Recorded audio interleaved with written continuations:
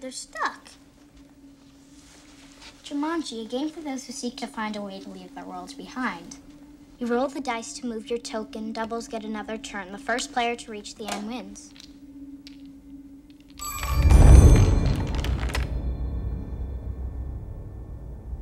It's gotta be microchips or something.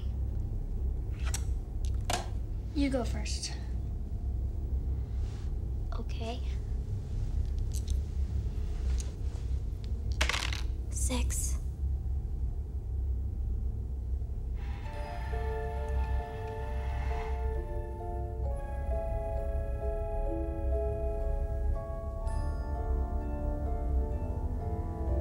A tiny bite can make you itch, make you sneeze, make you twitch.